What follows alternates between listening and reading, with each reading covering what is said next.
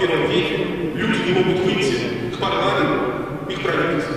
Вот это стыдно, с моей точки зрения. Пожалуйста, Немолов. Уважаемый Алексей Григорьевич,